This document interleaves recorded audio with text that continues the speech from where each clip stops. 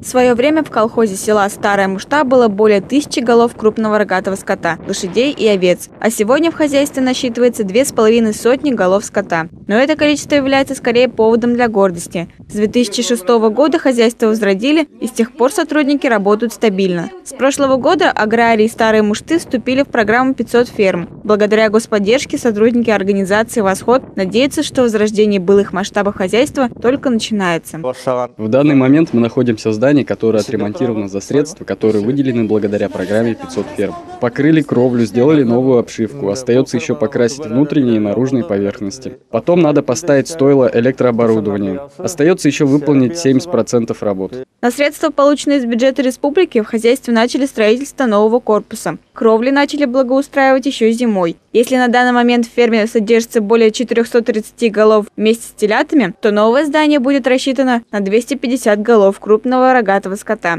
Сюда же планируется разместить дойных коров. Также здесь будут оборудованы душ, комнаты для работы и отдыха специалистов. В будущем на этой ферме все будет максимально автоматизировано. Если бы не программа 500 ферм, то надежды на возрождение былых объемов организации не было бы, говорит руководитель. Хозяйство «Восход» образовано в 2006 году. Когда начинали, нас было 25 человек, теперь в коллективе 20 человек.